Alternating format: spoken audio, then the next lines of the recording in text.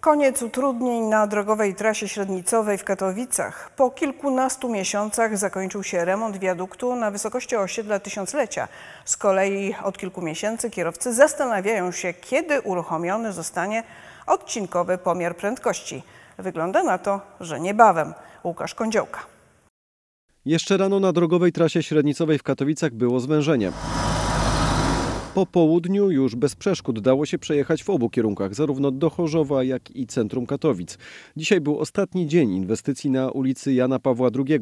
Remont wiaduktu trwał od maja zeszłego roku. W końcu, po kilkunastu miesiącach, zniknęła tymczasowa organizacja ruchu, choć zostało jeszcze trochę prac do dokończenia. Przed nami jeszcze malowanie e, poziome u góry, czyli na ulicy Jana Pawła II.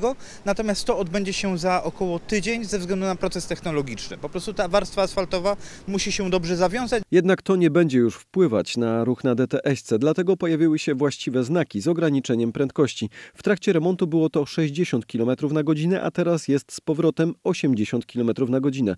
To zwiastun wprowadzenia odcinkowego pomiaru prędkości na krótkim fragmencie trasy przy granicy Katowic i Chorzowa.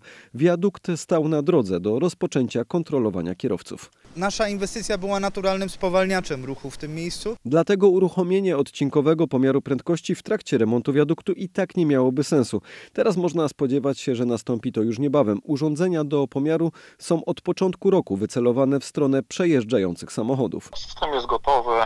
Pierwsze uruchomienie, no to będzie praca w testach. Wszystko zależy od ich wyników. Jeżeli wszystko będzie poprawnie, to 2-3 dni. Jeżeli będą jakieś nieprawidłowości, to może potrwać to dłużej. Pomiar prędkości obejmie około 1,5 kilometrowy odcinek. Informacja o uruchomieniu urządzeń zostanie opublikowana na Facebooku. Lokalizacja pojawi się także na mapie Centrum Automatycznego Nadzoru nad Ruchem Drogowym.